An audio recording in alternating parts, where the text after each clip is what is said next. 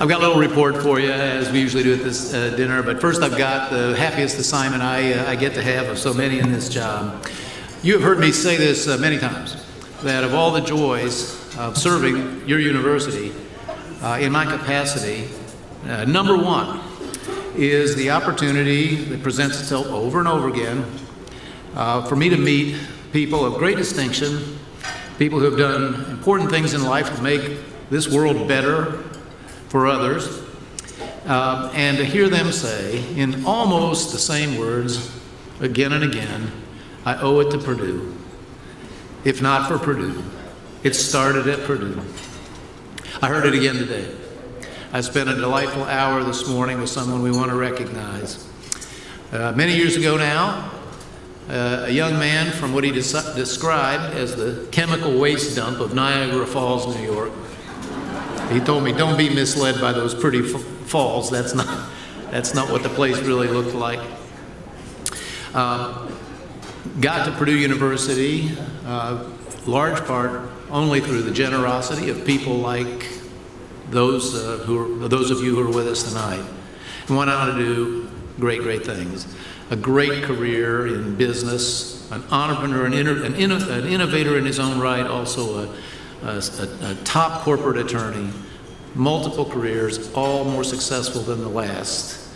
And uh, all that started with his aero and astro degrees, first a bachelor's and a master's at our school. And uh, he has, uh, and his wife Monica, have uh, now uh, endowed and named the graduate program in aero and astro uh, with the magnificent gift of $10 million.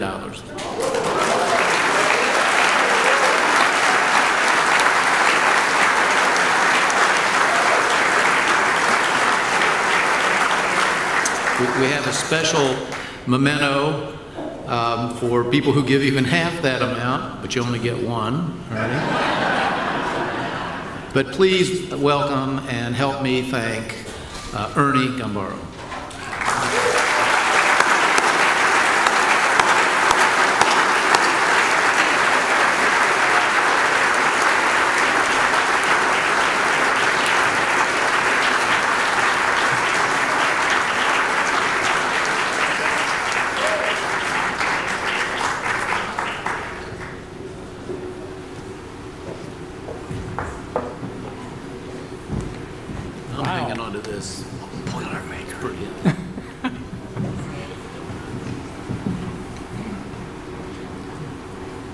That's very heavy, so I'm glad you're carrying it.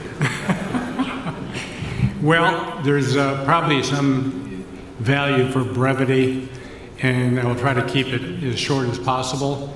And in very few words, I'll say that in a very real sense, my adult life began at this university. And I look back at those years and realize how they were important because it shaped the rest of my life. So in a very real sense, the achievements that I made were made possible by my years at Purdue.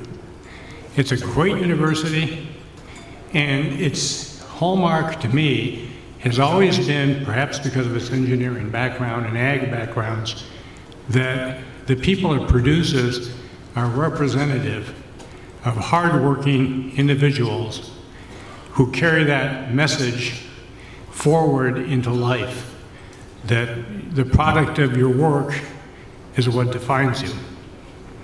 There's no free rides. There's no special favors. The one thing that always I've marveled at is that your success at Purdue was earned. And uh, that's a lesson that I carried forward for the next 60 or 70 years. Uh, and it's a lesson that is unfortunately not really expressed that much in today's society. So to some degree, we're the missionaries that carry the Purdue message forward. And I want to thank the school for giving me this opportunity to say a few words. And I'm very much appreciative, and I hope that the opportunities I've had are enjoyed by many others yet to come. Go Boilers!